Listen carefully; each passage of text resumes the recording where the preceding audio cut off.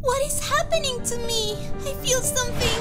What? Someone please the experiment explain is me. going very well. Mommy. Don't worry, she's gonna be My okay. face is going to explode! Ah! It's like a butterfly transformation. My body is different now. Mm, let's make another setting. Oh, I hope she looks like how she was before. These memories are so valuable for her. I have to keep this so I can give them to her. Hmm.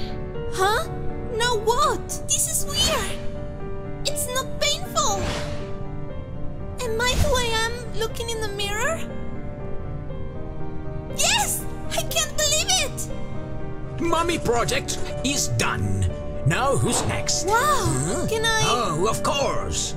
This is a gift for you, Mommy. I hope you like it. My fingers can dance! Huh? Is that door open? Finally!